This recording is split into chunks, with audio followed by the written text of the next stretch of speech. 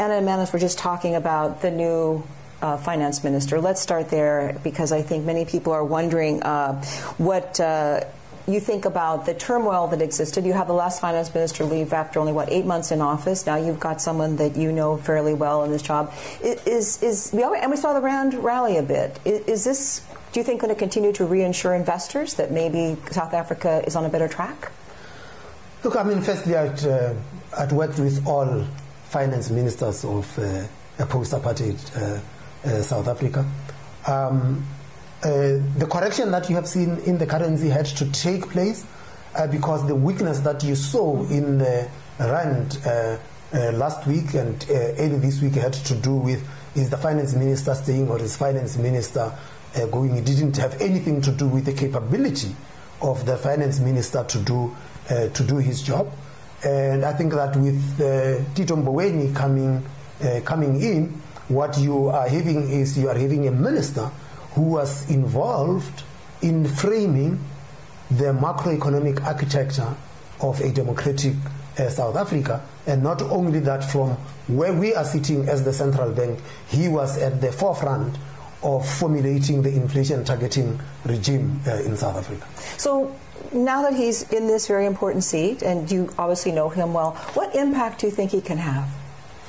Well, um, he is a minister in uh, government. From where we're sitting in the central bank, we are responsible for, uh, for monetary policy. Uh, the constitution of the republic says that uh, we must conduct monetary policy independently and without fear or favor, but there must be regular consultation between the uh, the South African Reserve Bank and uh, the finance the finance minister, and um, at least we will be having somebody who had been, has run the central bank for 10 years and, uh, and three months. And, um, and we are looking forward to working with him.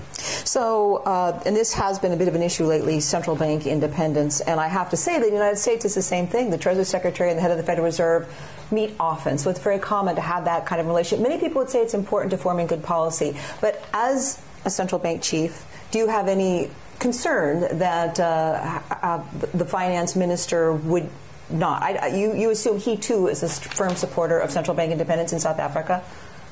Uh, I don't have to make that assumption. He is an advocate of central bank independence. And I would expect of him to continue on that trend and actually uh, defend and protect the uh, independence of the South African Reserve Bank. More importantly, is that when he takes his oath of office, in his oath of office, he commits to abide and respect and protect the Constitution of the Republic of South Africa. And the independence of the South African Reserve Bank is enshrined in the, uh, uh, in the Constitution. And may I also say that uh, in all the years that I have been in the South African government, in the Treasury and in the Central Bank, I have not encountered a situation where a president, past or present, a minister of finance, past or present, had ever attempted to instruct the Reserve Bank how to conduct its business. In other words, we have not had politicians in South Africa interfering with the independence of the Reserve Bank. And I do not think that uh, any one of South African politicians would want to become an exception to that rule. Emerging markets, Federal Reserve rate hikes, emerging market turmoil. This is one of the two big issues that I am told is going to be discussed over and over again uh, in many contexts in the meeting this week. Um, what is what do you see now when the people say the Federal Reserve has to be more cognizant of how its actions in an increasingly globalized world affect other countries, especially emerging markets? Well, it's not a new conversation. When the Fed embarked on uh, quantitative easing and other uh, advanced economy central banks embarked on quantitative easing, the same issues uh, came. It was uh, cognizant of the effect of your actions on the other economies, so much so that the IMF has to, um, as part of its surveillance, give a report about the spillovers uh, from the policies of the uh, the advanced economies. And I don't think that the Fed is reckless. I'm sure they take account uh, of these things, but understand that they are the Federal Reserve of the United States of America. They are the Federal Reserve Bank of the world. Um, so I do not think that they act uh, they act recklessly. I'm sure they, I've got no doubt they take these things into account.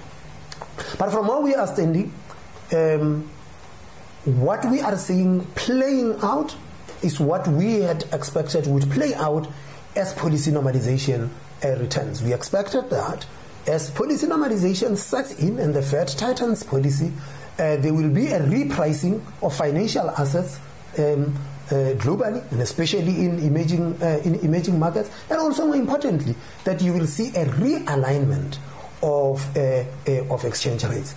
What we didn't foresee was that this could be taking place at a time when you had escalating trade tensions, which then complicates the, the whole picture. What does this all mean for the RAND? What does it all mean for your central bank's policy? I know you had a rather dovish member just uh, leaving the board. Uh, your stance on inflation, your stance on supporting the RAND. What is that going to mean in the, in the, in the weeks and months ahead? I don't know how you arrived at the other member being dovish. What if I tell you is the hawkish member who has left? You will not be able to figure that one out. Uh, but uh, the point here is that the, the, the, the this change in um, sentiment uh, globally uh, affects capital flows. Uh, we have seen that capital flows to emerging markets have slowed down, and in the case of others, uh, you have seen the flows actually reversing. Um, and that we expected. And as the flows do that, if the flows reverse or they slow down, it's bound to fit itself in the exchange rate. The question here is what is the policy reaction function? And the policy reaction function is a very clear one. From uh, South Africa's side, as a small open economy, our view is that we are an inflation targeting country and we will react to the second round effects from the depreciation of the currency rather than uh, react to the movement in the currency.